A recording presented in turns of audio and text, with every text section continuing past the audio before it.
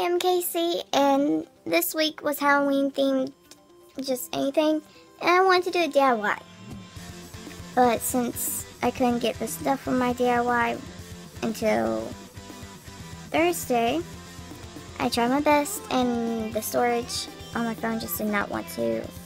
There was just best not enough storage or anything, so this is why I'm making this video. But I was going to make a um, video showing y'all how to make a wolf, some wolf ears, a pair of wolf ears. Which mine didn't turn out the way I wanted. I will admit that. It's not supposed to be that flat, it's actually supposed to be very rounded out. So, yeah. Not the way I wanted, and that one rhinestone fell off earlier. But yeah, so that's what my video is going to be, and this is actually going to be uncut video, so that's why I'm not going to, I'm barely going to edit this. So yeah, and this is what my video is like, because I'm actually filming this on Friday. So yeah.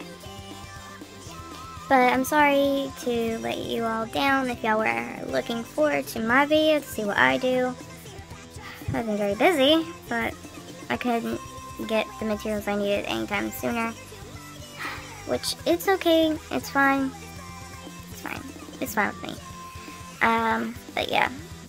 So I'm sorry if y'all were looking forward to my video and this is what y'all got. I really do apologize. And maybe next week I can I'll have a better video, which I will because next week is Halloween. Woo! So, yeah. So hopefully y'all will enjoy my video for next week.